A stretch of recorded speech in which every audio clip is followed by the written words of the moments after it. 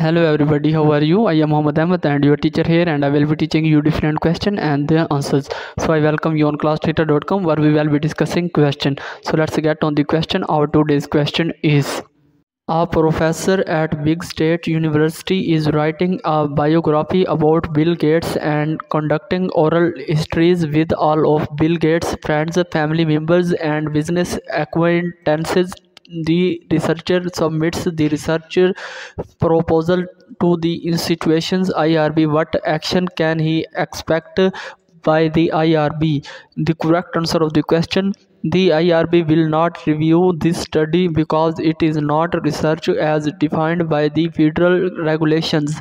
So that's the correct answer of the question. If you have any question, just leave a comment. I will be answering you as soon as I can. Thank you very much for watching the video. Please don't forget to like, share and subscribe our channel. Until next question. Bye bye.